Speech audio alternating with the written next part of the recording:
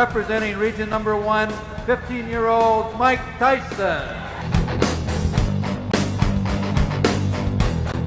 Tyson in the blue is a bomber. He's trained by no other than Cus D'Amato. Oh, and there it's all over. Oh!